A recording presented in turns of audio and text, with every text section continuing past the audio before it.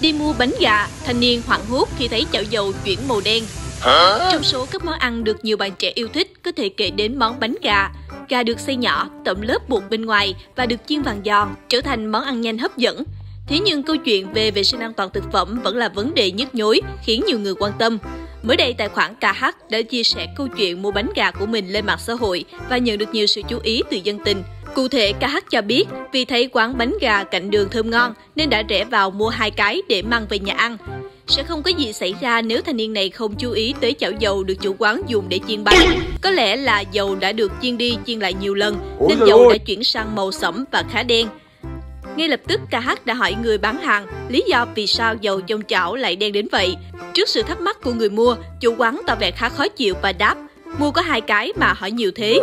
Ngay sau khi câu chuyện được chia sẻ rộng rãi trên các trang mạng xã hội, nhiều người đã trêu rằng dầu ăn có màu đen vì được làm từ tinh than tre. Một số khác tỏ vẻ lo ngại với vấn đề an toàn thực phẩm hiện nay. Một số bình luận của dân tình. Dầu này chính là bí kíp cho ông để lại đó, dây truyền đó bạn.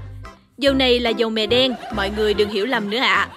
Hiện nay các quán ăn vặt mở ra rất nhiều, chính vì vậy khi ăn, chúng ta nên lựa chọn những cửa hàng sạch sẽ, quan sát màu của chảo dầu dùng để chiên đồ ăn để biết liệu dầu có được thay thường xuyên hay không. Đồ chiên rắn tuy ngon, nhưng nếu không được chế biến đúng cách, dầu không được thay thường xuyên sẽ để lại vô số tiềm ẩn cho sức khỏe. Đừng quên đăng ký kênh Sài Gòn TV để cùng chúng tôi cập nhật những tin tức đáng chú ý nhé. Gửi ngay tin nóng cho Sài Gòn TV qua hotline 0909 660 550 để có cơ hội gia tăng thu nhập nha.